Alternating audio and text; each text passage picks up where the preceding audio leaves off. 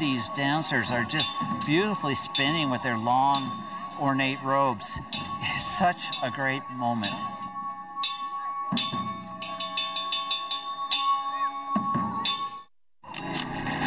I love to explore, I love to investigate, but ultimately it's investigating with the purpose of capturing something and bringing it back.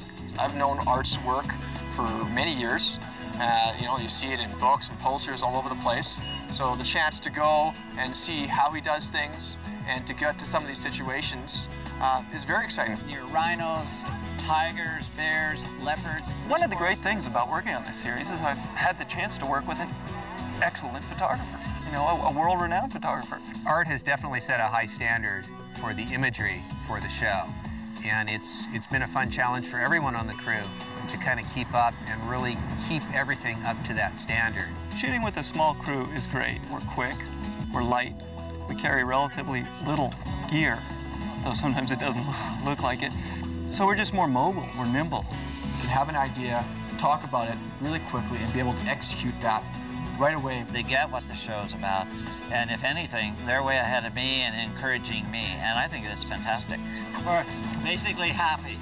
We got something out of nothing. It was a beautiful moment, great transitions. Everybody's happy. We'll fight later.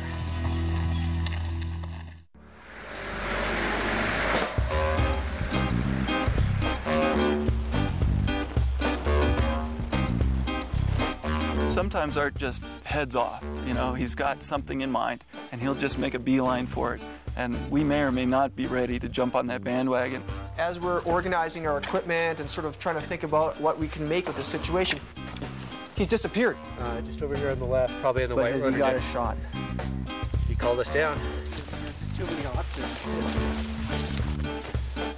Art, where are you? Okay. He's kind of like a tracking dog. And it's like you're you're hunting, and he's the dog out there finding the stuff. And so it's like, where'd he go? Where'd he go? And then all of a sudden he barks. Call it, Art! Art, where are you? And, you know, off through the trees, you'll hear this voice, I'm over here! We'll find him eventually, but, you know, every now and then, it's just like, oh, what happened to Art?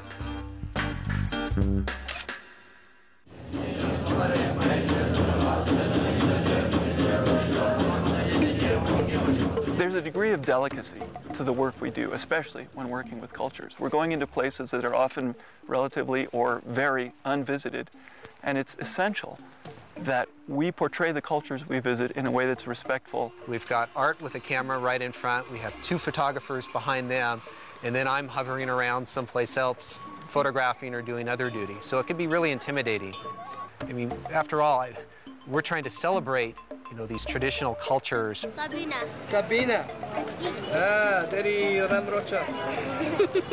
I think the key is just to smile and to be compassionate. And we often end up, you know, teasing our subjects. That's a way to break the barriers that are there linguistically and culturally otherwise. You know, you, you look at somebody with a sparkle in your eye and they look back and you've got an instant connection. First, usually I put the camera in their hands, let them take a picture of me, and in the age of digital, they can look at the results, and it's very engaging, it's very immediate, and it's perfect for breaking down cultural barriers. Walking into the monastery, you feel this profound sense of awe at the feeling that you could be stepping into something that happened hundreds of years ago and not much has changed. That moment is like, wow. Our goal is to put together a portrait of place that celebrates the beauty of the place, that talks about what's unique about the place, and that conveys a bit of its, of its spirit, really. And if we can do that, I feel that we've been respectful and that we've really celebrated and honored the people we're visiting.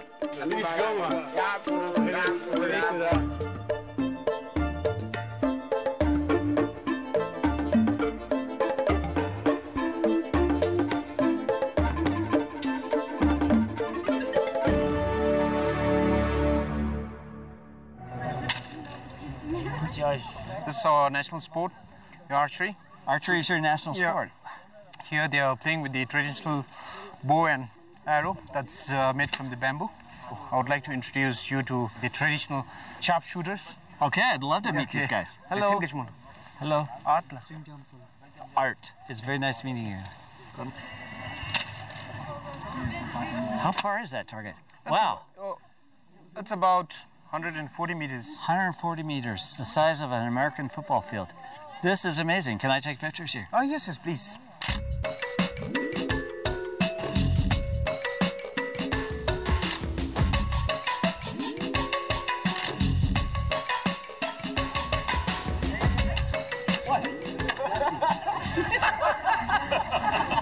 So what they're uh, trying to do here is that you know, when the other uh, other team is shooting, you know, so they try to distract him so that you know he don't hit the target and then like the opponent gets a point. So can I distract one? Yeah, yeah. yeah. They still come very close. But don't touch me.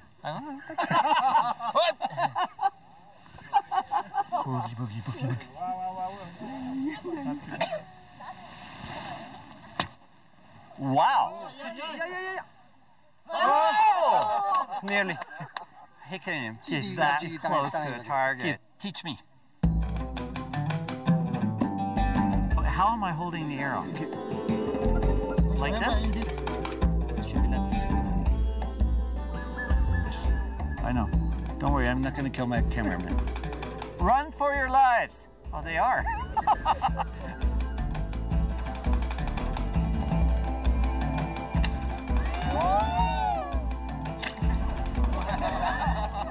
that was fun.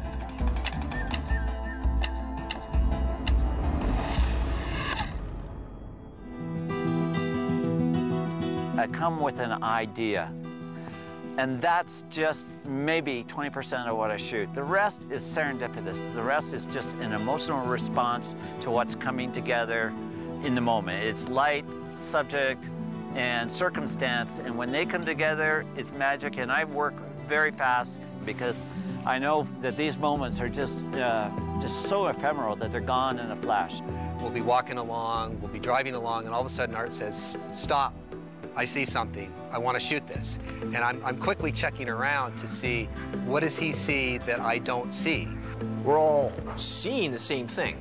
We're looking and seeing the same thing, but Art's picking out particular things that are, you know, in tune with his aesthetic. And in a lot of cases, it's patterns, it's textures, it's details. You know, I may see the pattern before I even see the herd of animals. He's really very visual, comes from an artistic background that most photographers don't. Is really an objective of mine to really translate a subject in a slightly different way or a greatly different way. For example, in Torres del Paine in, in, in Patagonia, everyone tends to look at just the mountains, but in the early morning light, you see these exploding lenticular clouds that actually dominate the frame. So trying to expand your vision and seeing these types of things has certainly been one of the things that we've, learned traveling with art.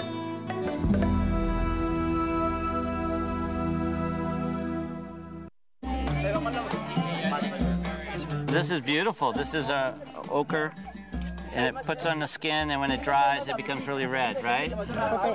Ah, and this is for the, the white one. Ah, this is like being in Nordstrom's. Okay, perfect. Nice.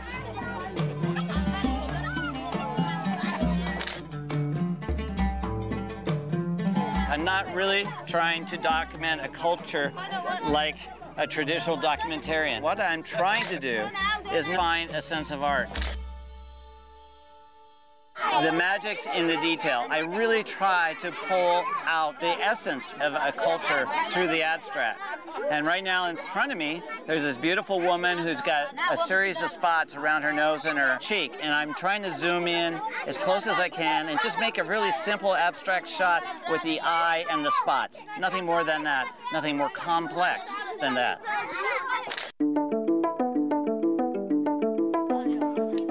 When they Karo adorn themselves, it's very individualistic. No two patterns are the same. And that's what art is about, basically, is that self-expression through your own sense of aesthetic. These cultures don't really have museums or art galleries or even living rooms where they can hang art. They, in fact, become their own living, breathing works of art. Can we have this space. Circle. Okay. This is known as designing your shot. Circle. Okay, you sit down. I see a beautiful pattern amongst their feet. Okay. Now I've got a beautiful circle. This is really hard work, but I think it's worth it. I love making artwork out of my subjects. Okay, look at it. These kids are great. It's wonderful to show them a reward. Oh, yeah. Oh, it went dark.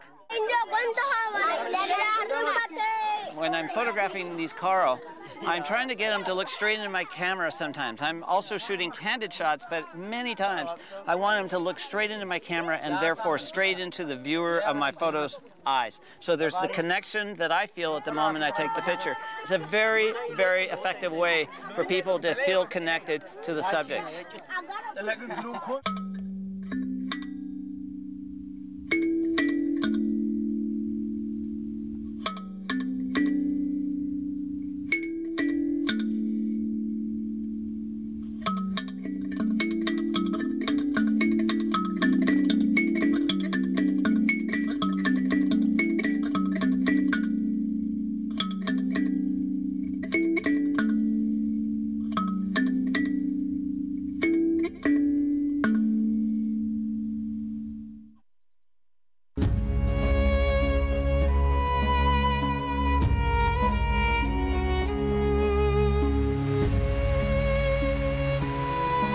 In a way, it's, it's a show about why people should care about these places. There's a conservation message embedded in each of these shows, whether cultural conservation or natural habitat conservation. And it's not an issues-oriented show. We're not saying these are the problems, you know, these are the solutions. We're saying this place is amazing. Take a look at it.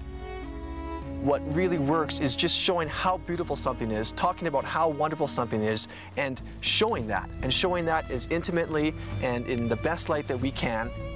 We really do try to say what is happening in this environment, what can change this environment for the better. The world really is a, a very beautiful place. It's being threatened on a number of different fronts. I mean, we all live on one planet. It's all important.